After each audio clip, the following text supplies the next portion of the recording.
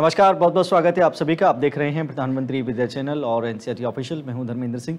इस खास सत्र में हम बात करने वाले हैं कक्षा 10 के विद्यार्थियों के लिए जो टॉपिक है, बड़ा ही दिलचस्प है प्रोबेबिलिटी आज हम पढ़ने वाले हैं।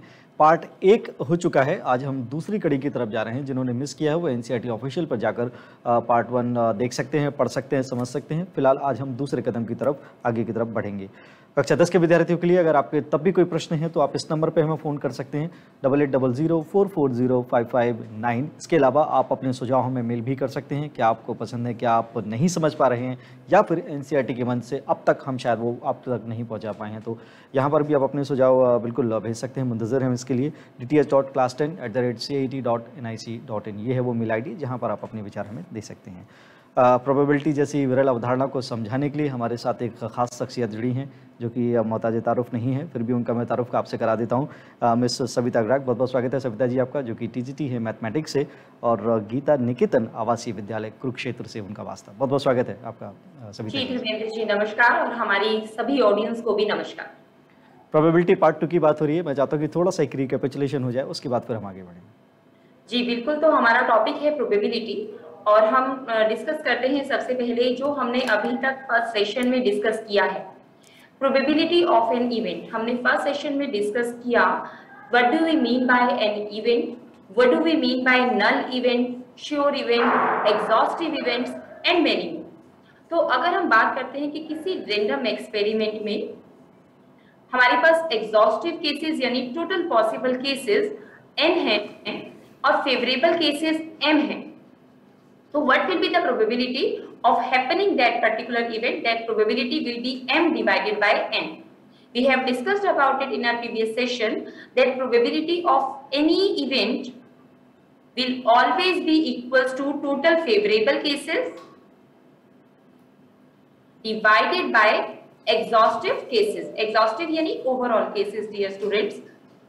So favorable cases हमने यहाँ पर बोला कि of happening of event E M है और एग्जॉस्टिव केसेस यानी टोटल केसेस n है then the probability will be m divided by n now let us proceed ahead we have also discussed these important statements which we are going to call again the first is the sum of probabilities of all the elementary events of an experiment is 1 अगर हम किसी भी event की सारे के सारे जैसा हम एग्ज़ाम्पल की हेल्प से देख सकते हैं, सारे केसेस को जब हम ले लेते हैं, मान लीजिए टू कॉइन्स हम टॉस करते हैं then the possible cases will be H H H T T H and T T so if I am writing let A is the event of getting exactly two heads B is the event of getting one head तो one head के लिए we can see that there are total two cases H T और T H and C is the event of getting no head no head को हम ये भी बोल सकते हैं both of the faces will be showing tail and tail means for the first coin it is a tail for the second coin it is again a tail so what will be the probability for the event e event a it is 1 by 4 because hh is representing one favorable case and that has been divided by the total exhaustive events which are four. Similarly, B is the event in which there are two cases.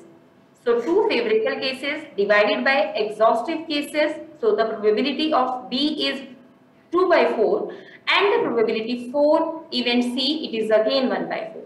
Now if I want to add the probability of these all elementary events undoubtedly the remainder will be the denominator will be 4 and it is 4 divided by 4 which is undoubtedly 1. So the sum of probabilities of all elementary events is always 1. Probability of a null event. Now what do we mean by a null event?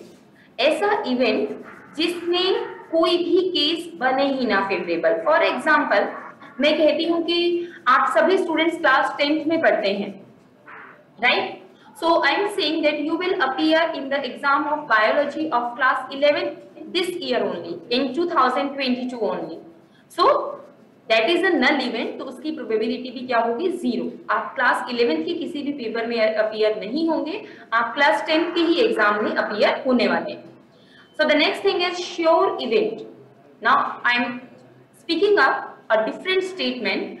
It is that all the students of class 10 will appear in the exams of class 10 only. So this is a sure event and the probability of a sure event is always 1. Sure event means an event in which all the exhaustive cases becomes the favorable cases. Now the next is if E is any, any, any event, then its probability will always be greater than or equals to 0, but it will be less than or equals to 1. We will never forget that the probability of any event can never be negative. कभी भी negative नहीं हो सकती ऋणात्मक नहीं हो सकती और 1 से ज़्यादा भी probability नहीं हो सकती the answer for probability will always be between 0 and 1 including both of these. And the last thing is that probability of an event and the probability of not happening of that event. Probability of E naught it is representing here that the event is not happening in दोनों probabilities का जो sum है that is always 1. Let us now discuss card theory. Uh, before that, coin theory. Coins.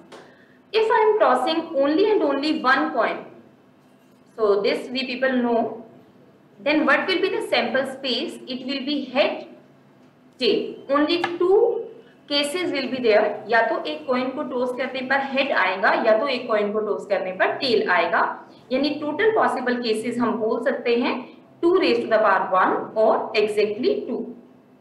If I am tossing two coin simultaneously together आप मान लीजिए एक coin आपके पास रुपी five का है और दूसरा कॉइन रुपी टू का है तो अगर हम इन दोनों कॉइन्स को इकट्ठे टॉस करते हैं on the first coin possibility है कि हेड आ जाए या तो टेल ऐसे ही सेकेंड कॉइन पर भी हेड आ सकता है तो tail so what will be the sample space in that case it will be H H या तो दोनों ही कॉइन्स पर हेड आए और फ़र्स्ट कॉइन पर head but on second coin it is a tail और vice versa on the first coin tail second coin head और tail tail these are possible cases and what can we say here about the exhaustive cases or total cases? These will be four और four को raise to the power two की form में भी लिख सकते हैं ऐसा हम क्यों लिख रहे हैं धीरे धीरे we will be able to conclude something See, when we were tossing one coin, so total possible cases 2 raised to the power 1. When we were tossing two coins, so total possible cases 2 raised to the power 2. And if we are tossing 3 coins, then the total cases will be 8 in total. And let us write the sample space for this. देखिए अगर हम three coins toast कर रहे हैं there is a possibility कि first coin पर head second पर भी हेड और थर्ड पर भी हेड आए या तो फ़र्स्ट कॉइन पर हेड सेकंड पर भी हेड लेकिन थर्ड पर टेल आ जाए और हो सकता है टेल सेकंड कॉइन पर आए, हो सकता है टेल फ़र्स्ट कॉइन पर आए बट बाकी दोनों कॉइन्स पर हेड आ रहा यानी कि we have written the possibility of getting three heads possibility of getting two heads at a time now the possibility of getting one head and two tails. Then, on all three coins you are getting tails. That means there are total possible cases 8 in number if we are tossing three coins तो ऐसे ही अगर हम three coins ना toss करके N coins toss करते हैं means this can be four in number five in number seven in number in that case total possible cases will be two raise to the power N अगर exam में आपसे question पूछ लिया जाता है कि N is equal to ten के लिए, या फिर अगर हम बोले कि अगर टेन कॉइन्स हम टॉस करते हैं what will be the number of exhaustive cases so it will be 2 raised to the power 10 and which you people know it is 1024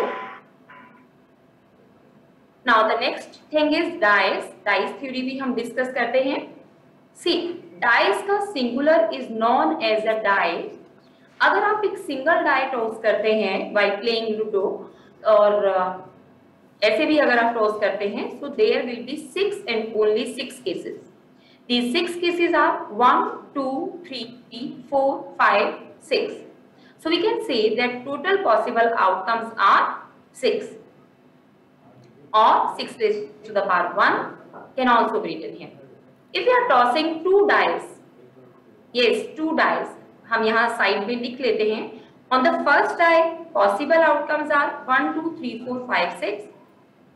Similarly, on the second die, 1, 2, 3, 4, 5, 6. और कुछ भी आना possible नहीं है other than these six outcomes. So, अगर हमने दोनों dice इकट्ठे टॉस की तो क्या हो सकता है कि फ़र्स्ट पर भी वन आए और सेकंड पर भी वन आए फ़र्स्ट डाई पर वन लेकिन सेकंड पर टू फ़र्स्ट डाई पर वन लेकिन सेकंड डाई पर थ्री तो ऐसा करके फ़र्स्ट डाई पर वन रखते हुए टोटल केसेस हमारे पास बन जाते हैं सिक्स सिमिलरली पॉसिबल है कि फ़र्स्ट आई पर टू लेकिन सेकंड पर यही सिक्स पॉसिबल केसेस आ जाएँ। Two four two five two six so these are again six in number and similarly three one से थ्री सिक्स तक these are six possible cases four one two four six five one two five six and finally six one two six six so what can we see that there are total 36 cases. If you will count these all cases, these will be 36 in number और 36 को हम क्या लिख सकते हैं 6 square. यानी एक die toss करने पर जितने भी टोटल पॉसिबल आउटकम आते हैं एक से ज़्यादा डाई टॉस करने पर उसके वो पावर बनते जाते हैं टू डाइस टॉस करने पर six square that is 36 cases if you will toss three dice together in that case exhaustive cases will be 216 in number because it is 6 cube और आपको पता है कि 6 cube means 200 16. All right. Let us now proceed ahead towards the question. Question die से ही related है what it is in a single throw of a die unbiased die इस unbiased word का मीनिंग बहुत गहरा होता है uh, पहले भी शायद किसी ना किसी सेशन में हमने डिस्कस किया हो कि शोले मूवी में हमने देखा है ना, वो कॉइन होता है अमिताभ बच्चन के पास। और वो बोलता है कि I will toss the coin अगर हेड आ गया तो मैं यहाँ रुकूँगा टेल आ गया तो तुम यहाँ रुकोगे। या जो भी उसे बात मनवानी होती है, वो हेड के लिए ही बोलता है। तो डेफिनेटली जब हेड आ रहा है, उस कॉइन की दोनों ही साइड हेड था। So that coin was not unbiased that was a biased coin similarly हमारी जो डाय है वो हमें बायस्ड नहीं लेनी। ऐसी डाय ना हो जिसमें हर बार सिक्स ही आता जा रहा है सिक्स ही आता जा रहा है। No it is unbiased possibility है वन से लेकर सिक्स तक कोई भी नंबर टॉप पर अपियर हो सकता है। सो so, हमें करना क्या है? Find the probability of getting a number four all right एक नंबर फोर आने की प्रोबेबिलिटी निकालनी है। So it will be one by six क्योंकि हमें पता है कि फेवरेबल केस में only one number is there that is four and total cases are six if we toss a single die next thing is a number other than three तो हमारे favourable cases क्या हो गए? Three नहीं appear होना चाहिए आपकी di पर बाकी पाँचों में से कोई भी आ, आपका जो नंबर है वो अपियर हो सकता है। So its probability will be five upon six similarly you can solve these all parts a number which is even a number less than 5 we are discussing this fifth and sixth part here an even number or a multiple of 3 see this word or is mentioned और का मतलब हो गया या तो even number होना चाहिए या तो थ्री का मल्टीपल दोनों कंडीशंस को जस्टिफाई करे आपका नंबर ये ज़रूरी नहीं है दोनों में से कोई भी एक कंडीशन को जस्टिफाई करेगा इट विल बी ओके जैसा हमने लिखा इवन नंबर सो आपका नंबर टू हो सकता है फोर हो सकता है, सिक्स हो सकता है और मल्टीपल ऑफ़ थ्री तो आपका नंबर थ्री हो सकता है या तो सिक्स हो सकता है, लेकिन सिक्स हम ऑलरेडी लिख चुके थे तो सिक्स को रीराइट नहीं करेंगे. So there will be four favourable cases and your probability will be four by six six part में देर इज़ समथिंग डिफरेंस यहाँ पर we have mentioned and means number even भी होना चाहिए and multiple of 3 भी होना चाहिए. Both of the conditions must be satisfied. So दोनों conditions को satisfy करने वाले हम सोचेंगे कि 1 से लेकर सिक्स के बीच ऐसे कौन कौन से नंबर्स हैं जो इवन भी हैं और थ्री के टेबल पर भी डिविजिबल है so that is only and only one number six so the answer will be one by six Now let us discuss the next question. Uh, I would like my viewers to solve it themselves. I'm just reading the statement here. Two unbiased coins. हमने discuss किया कि दो coin के case में कितने exhaustive cases बनते हैं find the probability of getting exactly two head exactly one head but third part हम डिस्कस कर लेते हैं एट मोस्ट वन हेड अक्सर ऐसा होता है Dharmendra ji at most word में और मोर देन वर्ड में हमारे व्यूअर्स जो है वो कंफ्यूज हो जाते हैं। तो एट मोस्ट बच्चे ऐसा ही है। जैसा आपको आपके ममा ने बोला कि go to the market and bring at most two K G of potatoes market जाइए और ज़्यादा से ज़्यादा दो किलो ही आपको आलू जो है वो खरीद कर लाने हैं। जी। तो अगर आप तीन किलो या चार किलो तो घर आकर डांट खाओगे ना? तो ज़्यादा से ज़्यादा दो किलो का मतलब सकते हैं, आप डेढ़ किलो खरीद सकते हैं। तो वी मस्ट नो कि एट मोस्ट वर्ड का जो मीनिंग है, इसका मीनिंग है पर्टिकुलर चीज़ की इक्वल होना या तो उससे कम होना। पर्टिकुलर चीज़ के इक्वल या तो उससे कम। And the next thing is तो कौन कौन से केसेस आपके बनेंगे ज़्यादा से ज़्यादा वन हेड के लिए? यानी कि या तो एक भी हेड ना हो both of the cases will be tt tail tail. या तो एक हेड हो H T and T H both tails को हम काउंट करेंगे. वन हेड वन टेल को हम काउंट करेंगे but both heads will not be counted here so the probability for this will be three by four अब ये part छोड़ देते हैं अपने व्यूअर्स के लिए. एट लीस्ट का मतलब इसका उल्टा.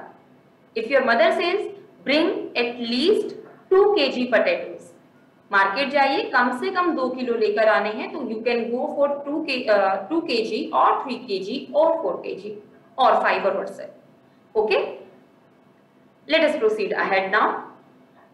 All right there is a question uh, which is not based on dice not even based on coins. ये एक हमारा रियल लाइफ बेस्ड क्वेश्चन है. Mohit buys a fish from a shop for his aquarium the shopkeeper takes out one fish at random randomly कोई भी एक fish shopkeeper ने निकाल कर दे दी कहा से?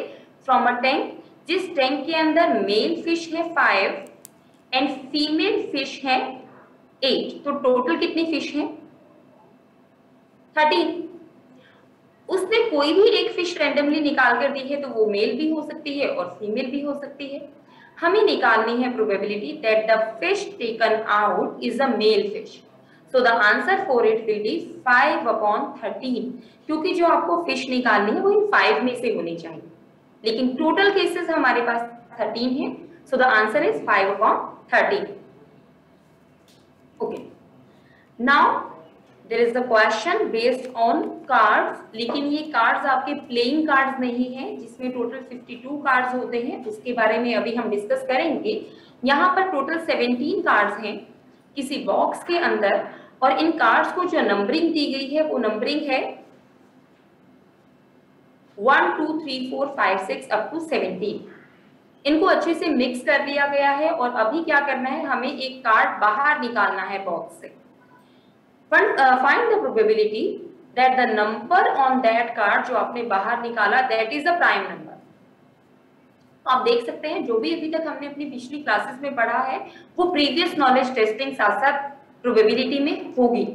हमें पता होगा कि प्राइम नंबर्स कहते किन्हें हैं, तभी हम प्रोबेबिलिटी निकाल सकते हैं for getting a prime number so all those numbers Jin numbers के दो ही फैक्टर्स होते हैं one and the number itself उन्हें हम कहते हैं प्राइम नंबर्स तो वन टू सेवनटीन के बीच में there are total seven prime numbers so the answer will be seven upon seventeen now again third part and second part आप लोग सॉल्व भी करें और सॉल्व करने के बाद हमारे साथ आंसर्स भी शेयर करें सो so दैट हमें पता चले कि बहुत एक्टिवली आप ये क्वेश्चंस कर रहे हैं।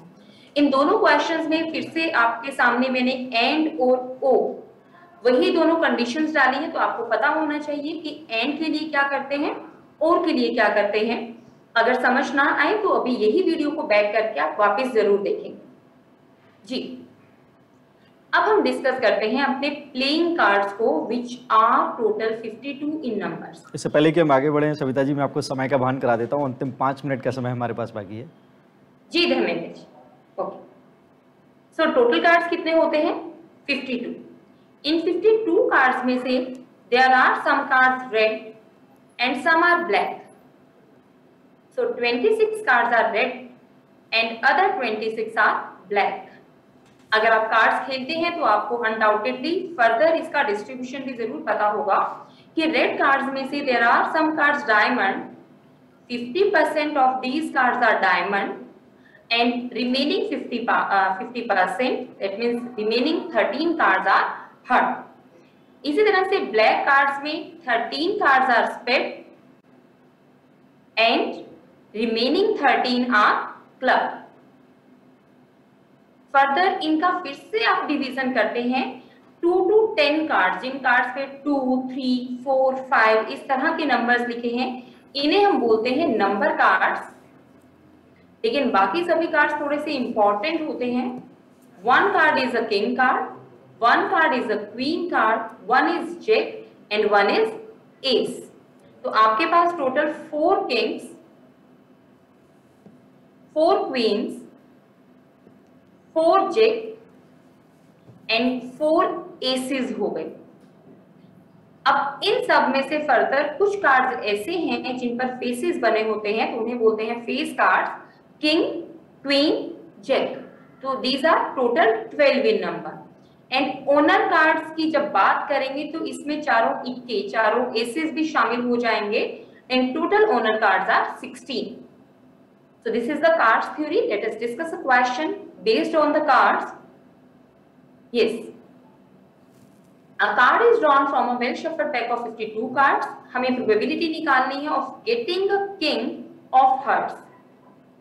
King of hearts. तो अभी हमने डिस्कस किया था hearts में कितने king होते हैं इन चारों में से हर एक सेट में एक एक किंग होता है किंग ऑफ़ हार्ट्स का मतलब your favourable case is one but total cases कई बार व्यूअर्स गलती से थर्टीन लिख देते हैं वो सोचते हैं कि किंग ऑफ़ हार्ट्स ही तो पूछा है। लेकिन ओनली हर्ट्स में से हमें वो कार्ड जो है वो वो नहीं करना ड्रॉ नहीं करना, हमें टोटल 52 कार्ड्स में से ड्रॉ करना है। So your answer will be 1 by 52 next part is either a king और अ जैक तो हमें पता है टोटल फोर क्वीन होती हैं फोर जेक होते हैं। So the answer for this will be 8 upon 52 similarly remaining parts can be solve by you viewers हमने डिस्कस किया कितने फेस कार्ड्स होते हैं। ना किंग होना चाहिए, ना क्वीन होना चाहिए। टोटल किंग एंड क्वीन निकाल कर हम उसे ऐड करेंगे और 52 में से सब्ट्रैक्ट कर देते हैं इस नंबर को। So the answer for this part will be 44 divided by 52 all right Let us discuss one more question and this will be the last question for our today's session, Dharmendra ji. Sure. Okay, this is an important question as well. The question is find the probability that a leap year selected at random will contain 53 Sundays. अब leap year किन्हें कहते हैं जैसे अभी 2024 आने वाला है that is the leap year वो ईयर जो आपके पास फेब मंथ में 29 डेज़ रखता है हमें पता है उसे हम लीप ईयर बोलते हैं। एंड uh, हम सभी को पता है कि number of days in a leap year will be 366 okay normal जो ईयर होते हैं 365 डेज़ बट फेब में एक डे बढ़ने के कारण लीप ईयर में टोटल 366 डेज़ हमें निकालनी है प्रोबेबिलिटी ऑफ़ गेटिंग 53 संडेज तो थोड़ा सा जनरल नॉलेज की तरफ़ पहले चलते हैं। वी नो दैट किसी भी ईयर में, हर वीक में टोटल सेवन डेज़ होते हैं। सेवन से ज़्यादा या कम डेज़ नहीं हो सकते। ओके तो सेवन डेज़ होते हैं तो हम निकाल सकते हैं कि टोटल वीक्स आखिर बनते कितने हैं। तो लीप ईयर की 366 डेज़ को हम बोल सकते हैं this is the combination of 52 weeks and two extra days तो अगर 52 वीक्स हैं तो अनडाउटेडली 52 संडेज भी हैं 52 मंडेज भी हैं 52 फ्राइडेज भी हैं। तो सारा खेल बचता है इन दो दिनों का। तो इन दो दिनों का देखते हैं सॉल्यूशन क्या क्या हो सकता है। These two days can be जी बहुत बहुत जल्दी से हमारे पास वक्त बिल्कुल भी नहीं है। Monday and Tuesday Tuesday Wednesday Wednesday Thursday Thursday Friday Friday Saturday and Saturday Sunday तो इन दो दिनों का कॉम्बिनेशन ये हो सकता है। मुझे चाहिए probability of getting the fifty third day to be a तो आप देख लीजिए, इनमें से Sunday one case and two case तो the probability will be two for these two cases divided by total cases which is seven so answer is two by seven here it is over Dharmendra ji बहुत बहुत शुक्रिया सविता जी, इतने कमाल अंदाज में इस चीज़ को बताने के लिए। एक सवाल और भी मेरा था। पूरे देश की तरफ़ से ही सवाल है, ये जो कोविड नाइन्टीन सो कॉल्ड चीज़ है, इसकी समाप्त जल्दी होने की कितनी प्रोबेबिलिटी है, कितनी संभावना है? इसको आप नेक्स्ट सेशन में ज़रूर बताइएगा। फ़िलहाल इस सेशन में आने के लिए इतने महत्वपूर्ण ढंग से प्रोबेबिलिटी के कॉन्सेप्ट को हमारे विद्यार्थियों को समझाने के लिए आपका बहुत बहुत शुक्रिया, मैम।